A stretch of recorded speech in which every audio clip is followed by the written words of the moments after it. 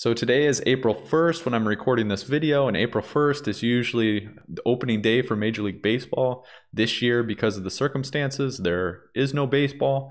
So I figure we could do a dynamics problem concerning baseball. I know it's not as good, but um, let's let's go ahead and get started. So I'm going to roll this clip here, and this person's going to hit the ball a long way. Well into center field.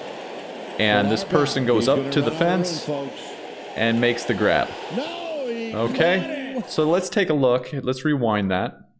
All right, as you can see here in the video, right, the 404 feet marker. So that's 404 feet from home plate. And this person's up pretty high. Uh, I would say maybe 10 feet where they make the grab here, where they actually catch the ball is 10 feet off the ground.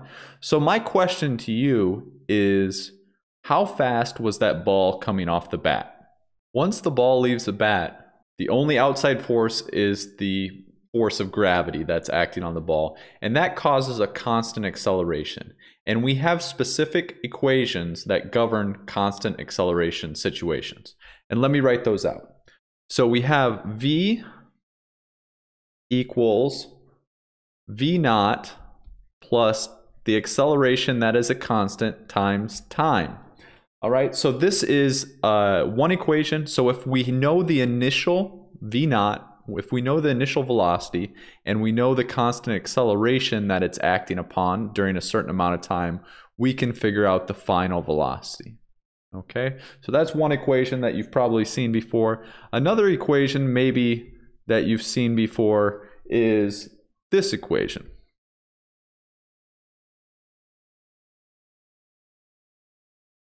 And this equation, commonly referred to for projectile motion, where we have things like the constant acceleration, the time, and we have the initial velocity v naught, and then we have s and s naught. S naught is the initial position, and S is the final position. So sometimes we bring S naught to the other side of the equation. We have S minus S naught, meaning the displacement there. Um, but here we have another equation. And our last equation, and probably the least known, it's probably not as covered as much in physics courses, uh, is this one. Make sure I got that right. Yeah, so if we want to figure out the velocity at a specific time, and we know the initial velocity, and we know the acceleration and the displacement, we know that its position at the current state and its original position, we can figure out its its current velocity. So those are the three qu- equations we have. All right, to solve this problem, we need to make several assumptions and break this down into x and y coordinates. All right, some of the assumptions that we need to make are how high is the ball hit off the ground? So when the person swings, how high is the ball off the ground? And let's say it's roughly about three feet. And how high is it when the person catches the ball? I said roughly about 10 feet. So let's assume 10 feet, the ball is caught at 10 feet. Another thing we need to know is how long is the ball in the air? That's really the key ingredient. And lastly, we need to break this down into x and y coordinates because gravity only acts upon an object towards the earth, right? So in the y direction, we have this acceleration due to gravity, this constant acceleration, which is 9.8 meters per second squared or 32.2 feet per second squared in the English system. Hit well into center field. Pillar back. He's going to run out of room, folks. As you can see from the video, we have a time of flight of the ball of 5.21 seconds. So let's go ahead and solve this by breaking it down into x direction and y direction. I'm going to start with the x direction here. And so we can write the equation. We need the equation that relates the distance and time and velocity. So we use this equation, s equals s naught plus v naught times t plus 1 half a sub c t squared. All right. So since this is the x direction, I'm going to put x's on each one of these terms here. Okay. And like I mentioned before, there's no acceleration in the x direction. It's only acting in the y direction. So this term goes to zero, right? This term. So then we just have s in the x direction equals s naught in the x direction plus the velocity, the original velocity in the x direction times time.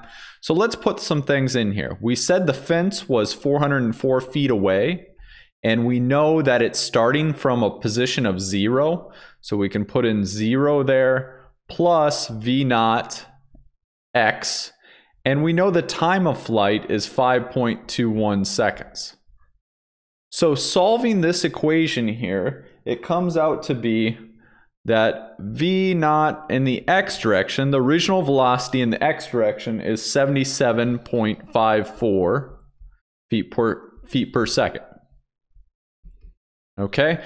And so that's just in the x direction. Now let's solve for the y direction. The y direction equation takes the same form.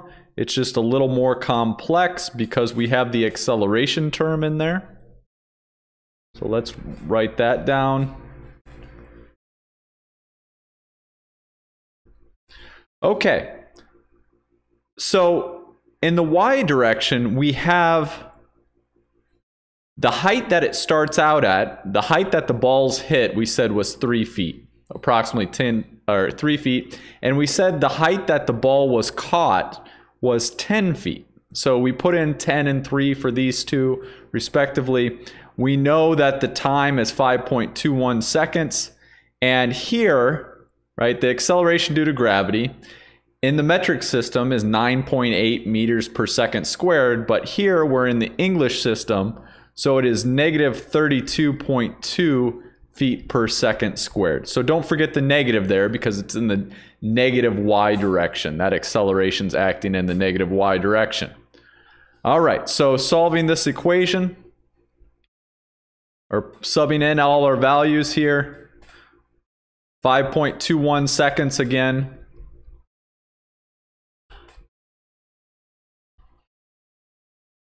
and 5.21 seconds over here squared. Make sure you don't forget the squared term. So that is V naught Y is equal to uh, 85 point, 85.22 or 222 feet per second. So we have the x velocity and the y velocity. So The original velocity is occurring at an angle so in the x direction, which we solved, we have this vector of 77.54 in the x direction. And then in the y direction here, we have 85.22. All right, and then the resultant or the magnitude of the vector here, we'll call that v naught at an angle of theta. Okay, so to find V naught, we can we can take the sum of the squares. So we have 77.54 squared plus 85.22 squared and take the square root of that.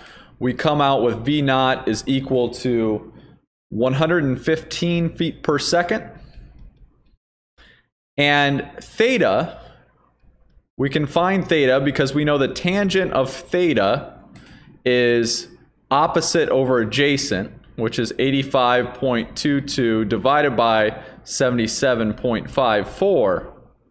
All right, and if we solve for theta here, theta comes out to be uh, 47.7 degrees. All right, so we have the initial velocity and the angle that it is acting above horizontal. So it's hit about at 45 degrees and uh, 47.7 to be exact. And the velocity here is 115 feet per second. And if we convert that to miles per hour, that comes out to 78.4 miles per hour. Now, 78.4 miles per hour seems slightly slow to be coming off the bat. And why is that? Well, we didn't take into account one important factor. All right. Nowhere in our equations there's the resistance due to air, the drag of the air. So actually, by doing this approximation, we get a value that's much lower than the actual velocity coming off the bat. I would expect this velocity coming off the bat to be well over 100 miles an hour, uh, factoring in the air resistance. But for our calculation, it comes out to be 78.4 miles per hour.